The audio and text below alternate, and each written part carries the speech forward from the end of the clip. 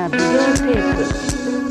音声は劣化してノイズに混じり映像も途切れ途切れで何をしているのかはわからない。一つ分かったのはこれは子供の頃の私。私に優しい笑顔を向ける。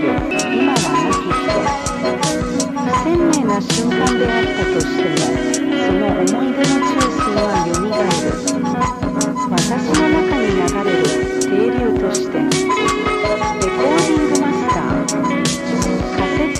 já.